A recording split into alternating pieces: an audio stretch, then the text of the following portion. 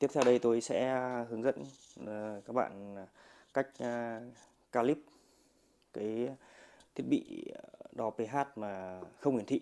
Còn cách còn đối với thiết bị đo pH mà lắp cùng với cả transmitter hiển thị, chúng tôi sẽ giới thiệu một cái clip khác và sử dụng với cái 89 controller 8900 này.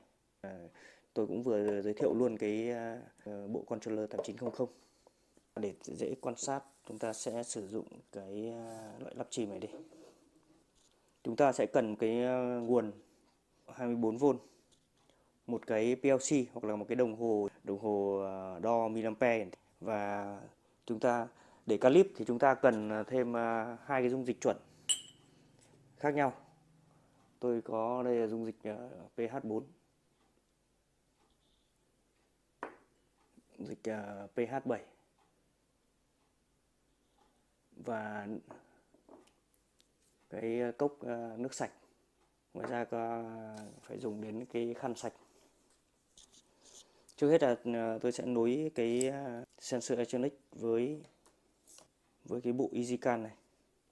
Ở trên này đầu vào thì có ghi rõ là cái chân màu gì. Đó, nhìn thấy là black, red, white here chúng ta sẽ nối nối lần lượt này.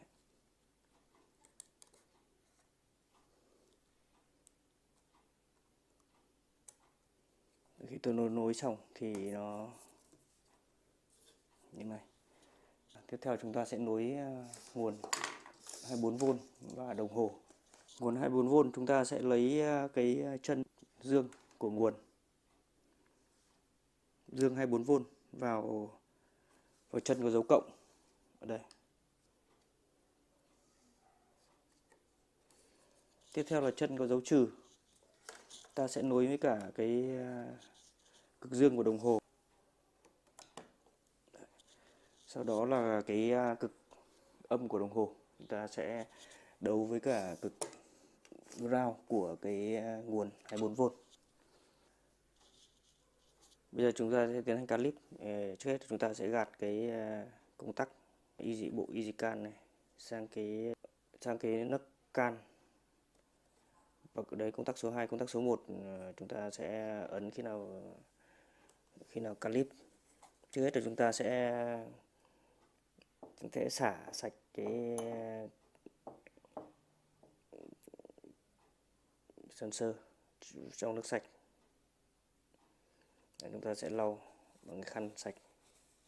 Nên các bạn lưu ý là chỉ chấm thôi, chứ không, chúng ta sẽ không không, chúng ta sẽ không lau những đầu để để tránh xước sát đến cái cái mặt kính. Sau đó chúng ta sẽ nhúng vào cái dung dịch chuẩn pH số 1 Đấy, chúng ta sẽ nhúng, nhúng ở đây chúng tôi nhúng, nhúng vào cái dung dịch pH4 chúng ta sẽ chờ chúng ta sẽ chờ khoảng à, 30 giây cho nó ổn định cái số. Chúng ta có thể quan sát trên cái đồng hồ này. Chúng ta sẽ chờ 30 giây.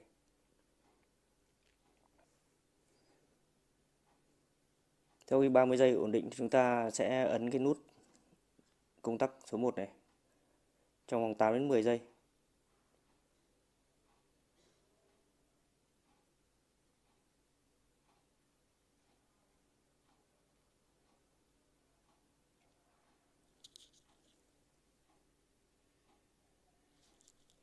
Đấy, sau khi cái đèn nó sáng xong chúng nó tắt thì là quá trình calip đã hoàn thành. Chúng ta sẽ nhả cái nút cái công tắc số 1 ra, nhả nút nhấn ra. Thì nếu mà cái đèn led nó tiếp tục sáng nháy nhấp nháy thì chứng tỏ là cái quá trình calip nó chưa hoàn thành.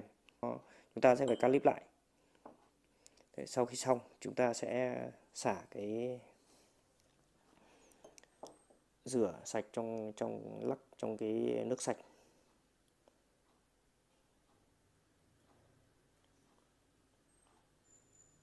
Và chúng ta sẽ lau sạch, lau, chúng ta chỉ chấm thôi.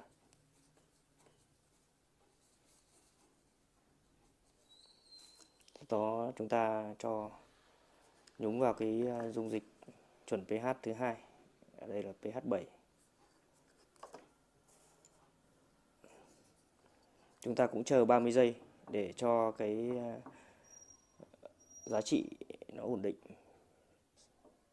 Sau khi à, chúng ta đặt cái ờ, nhúng đầu đo vào dung dịch chuẩn thứ hai, là pH 7 đây, thì tôi cũng sẽ ấn cái công tắc số 1 trong 8 đến 10 giây. Chúng ta sẽ thấy đèn nó sáng lên. Chúng ta vẫn tiếp tục giữ.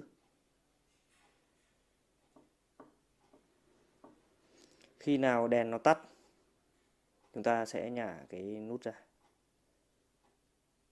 Đấy. và cái đèn cái đèn này nó tắt.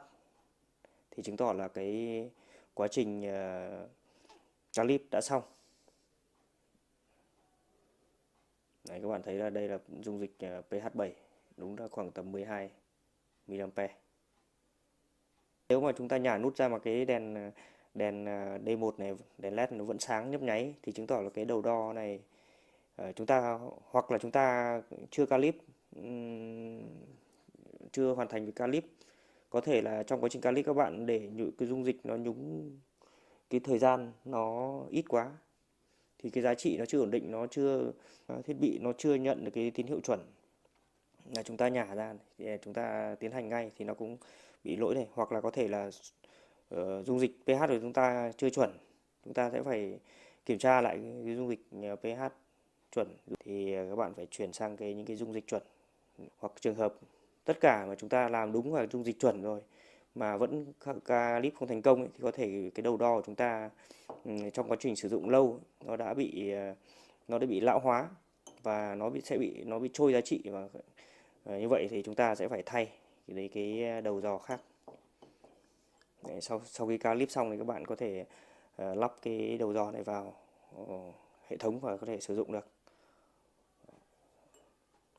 Uh, trên đây tôi vừa giới thiệu với các bạn uh, các thiết bị đo pH của hãng ZF và cũng như cách à, calip uh, thiết bị đo pH với trong trường hợp chúng ta sử dụng cái thiết bị mà không hiển thị từ đầu ra 420 mA không còn ờ, không hiển thị. Chúng ta vừa tiến hành calip thiết bị rất là dễ dàng. Các bạn có thể uh, qua clip này các bạn có thể à, làm một cách nhanh chóng. Chúc các bạn thành công. Hẹn gặp lại trong các bạn trong ờ, các clip tiếp theo của chúng tôi.